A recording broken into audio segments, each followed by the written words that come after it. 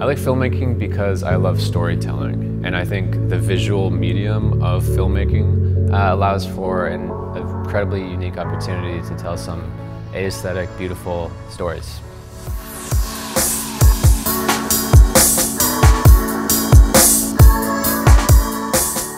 So as a director, typically if we're shooting with a drone, I'm not able to see what the drone operator is seeing. But with the live deck, we are able to see real time what everyone is shooting and it is just so helpful for the whole production as a whole. It's honestly really awesome.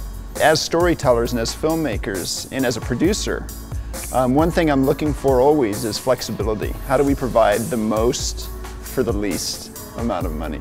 And the drone today really provided that, right? It provided a really nice complement to the rest of our package and really acted as a dolly, a jib, uh, uh, even a crane in some of the shots that we did. That's such a lifesaver from a producer standpoint because it allows the, our directors to tell their stories, but also do so in a way that's cost effective and yet super powerful from a, from a creative standpoint.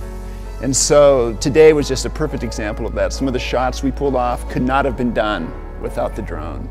So for this project we have a very complex shot and with the live there we were able to monitor the RED camera and the, the drone at the same time. So the director was able to monitor those and make sure that we got all the shots that we planned to get and we save a lot of time in uh, doing playback, getting the video feedback while we were shooting at the same time so he was able to see every shot and no need of playback or anything like that.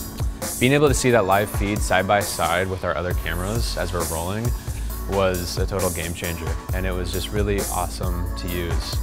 We worked on some incredibly challenging shots today in terms of using the drone and being able to monitor it real time to make sure that we were actually getting everything in frame that we wanted to get is honestly like a paradigm shift in terms of what we are able to capture. It allowed us to do some camera movements that we've never been able to do before in terms of getting these one shots that would just be impossible.